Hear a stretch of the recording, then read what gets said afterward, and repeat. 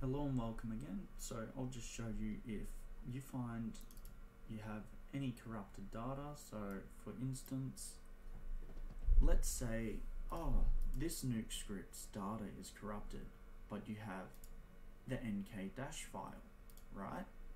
And you're trying to open that. So let's just say I decide, oh, I want to open nuke, right?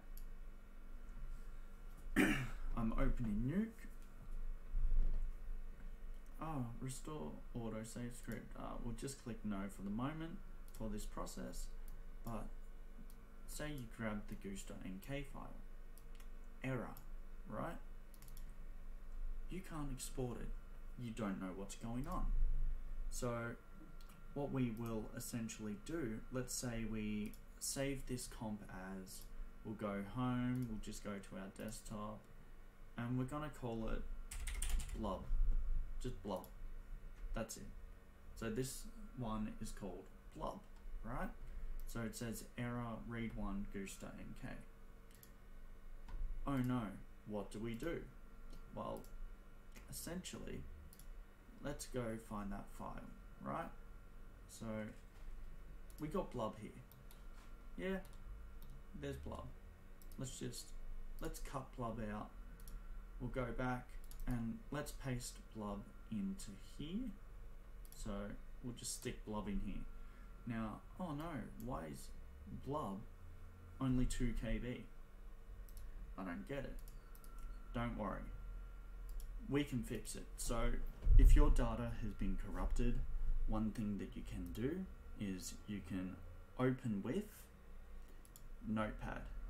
So say that all this is gone. Like there's nothing, right? But you find your .nk file, right? So we'll go notepad. Oh, look at that. We have all this code. So you want to grab it from E, drag all the way down and click Control C. You can close goose.nk because you'll go Control V, close that, and you're going to save it. So now look what happens when I open blob. So you'll notice something different, something better. So as you can see, Blub has all this hardware now. So it's got all the software, everything is installed. So let's run it and we're not getting any issues and Blub seems to be working which means we have done our job. And that's pretty much how you can fix any corrupted data. So we can just boop, delete that one because we got our goose script here.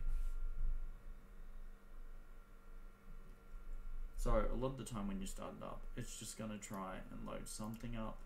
There you go. See, load in the vector blur but you can see that this one is edited a lot more clearer because this is the more up-to-date one. So we can just go file save comp and close. And that is it